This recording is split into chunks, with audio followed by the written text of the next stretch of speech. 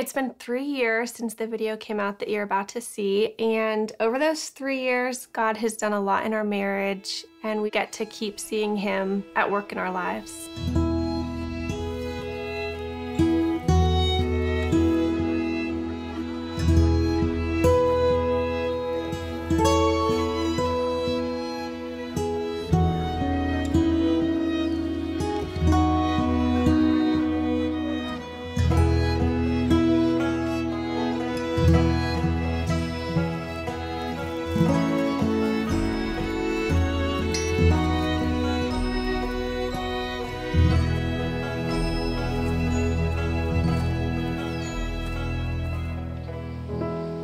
Larissa asked me to read a couple of quotes from a man named John Piper, who's a, a well known Bible teacher, and he talks about marriage and how it, this mystery, refers to Christ and the church. And he says this Marriage is not mainly about prospering economically, it is mainly about displaying the covenant keeping love between Christ and his church. He says, knowing Christ is more important than making a living. Treasuring Christ is more important than bearing children. Either way, it is short. It may have many bright days, or it may be covered with clouds. But if we set our face to make of marriage mainly what God designed it to be, no sorrows and no calamities can stand in our way. Every one of them will be not an obstacle to success, but a way to succeed.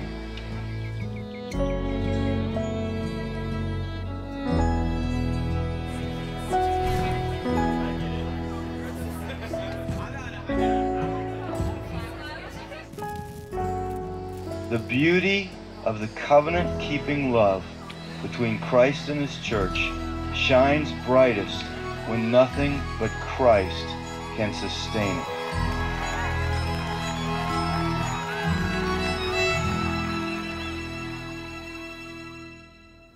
Ian and I first met in 2005 at college and had a blast for 10 months getting to know each other. And I was looking through and I found one of my favorite pictures, which I think was actually taken right before his accident. He set up a camera on his, his tripod. And it's just a classic Ian face that to me sums up who he is.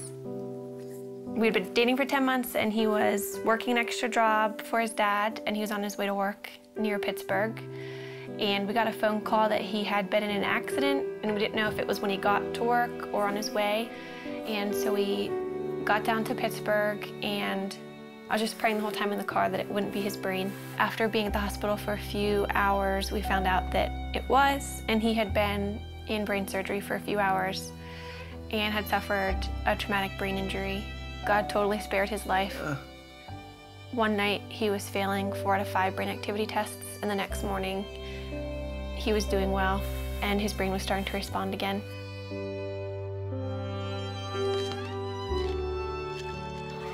I moved in with his family after the accident, so I was really involved in his therapy and just did whatever I could to make his life fun. We'd go out on dates, and looking back, it's weird because he couldn't talk and he couldn't eat. So we probably looked like complete weirdos being on dates, but we had a blast, and I just talked to him all the time.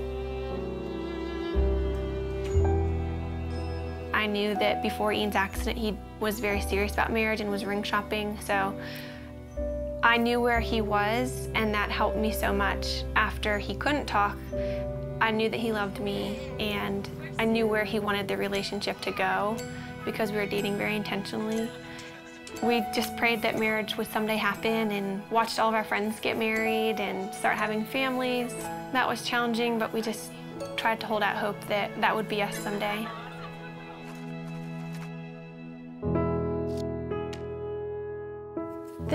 Our board of gratefulness, and we encourage anybody who comes in to write a note of something that they're thankful for. It could be really small. Mine is just Saturday mornings, and it's just a good way that we found to be just practicing gratefulness. And Ian, I think half of yours say my wifey. Which is pretty cool.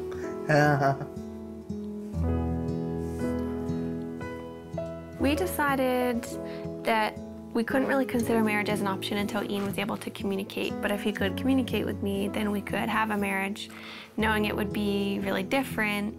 But as long as Ian could talk to me, then we could make it work.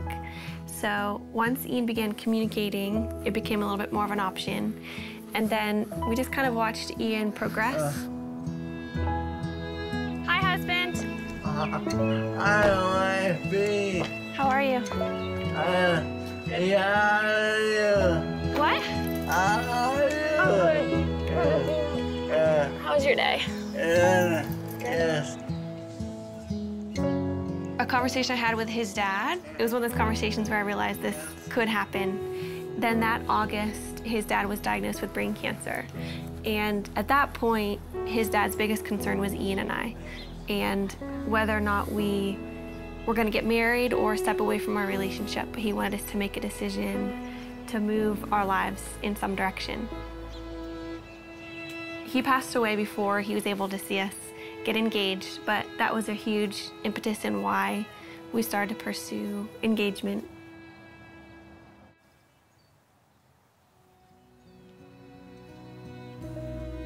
Think what helped us in deciding to make this commitment to each other, at least for me, is knowing that Ian wouldn't have left me if the roles were reversed and that we love each other and we know that God's going to be faithful to our marriage.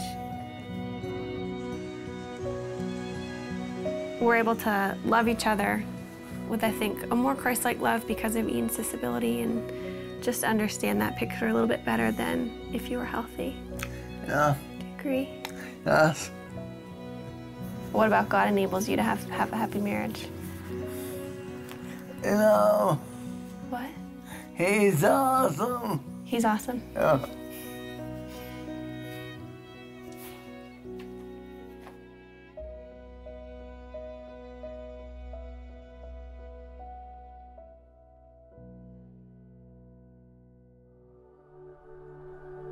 It's been three years since the video came out, and over those three years, God has done a lot in our marriage and continues to heal Ian, and we just get to keep seeing him at work in our lives.